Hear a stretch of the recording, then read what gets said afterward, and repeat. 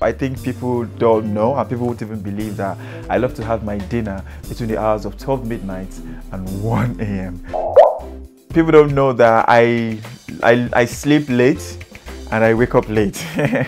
I like to wake up at the hour of 9. If it's not 9, I am not waking up except I have something early in the, hour, in the hours of the day to do, of course. I spend at least one hour getting ready, like to dress up. Go call me vain, man. But I spend at least one hour. That's because I keep changing and rechanging because you know I need to look good for you guys.